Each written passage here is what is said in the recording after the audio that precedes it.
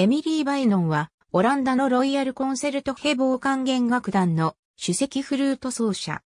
日本とも縁があり、1992年の初、来日以来、たびたび訪れ、NHK 交響楽団との共演、霧島国際音楽祭のマスタークラスでの指導など、日本のフルートファンにも馴染み深い。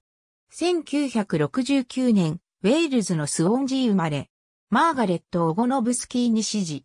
王立音楽大学でフルートを学ぶ。ウィリアム・ベネットとアラン・マリオンの下で、ロンドンの王立音楽アカデミーで、さらに研鑽する。ロイヤルコンセルトヘボー館はもちろん、フィルハーモニア管弦楽団、BBC 交響楽団、イギリス室内管弦楽団、ウィーン室内管弦楽団、NHK 交響楽団、主幹波弦楽四重奏団、ナッシュアンサンブル等とも共演している。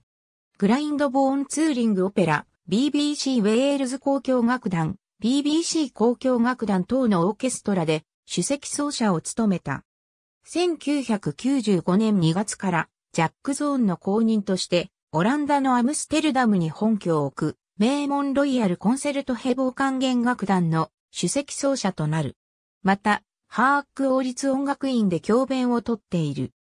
デンマーク王立管弦楽団、ルクセンブルクフィルハーモニー管弦楽団の首席ハープ奏者を歴任したカトリーヌ・バイノンは妹でたびたび共演し、CD も共作している。ありがとうございます。